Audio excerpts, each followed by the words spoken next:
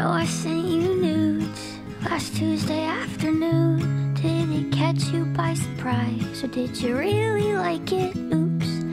We had sex on your couch in the middle of your house while your roommates were gone, and then we cuddled on the lawn. We ate clementines, and I pretended pretended I was yours for like an hour, but I, I wouldn't let you kiss me. Didn't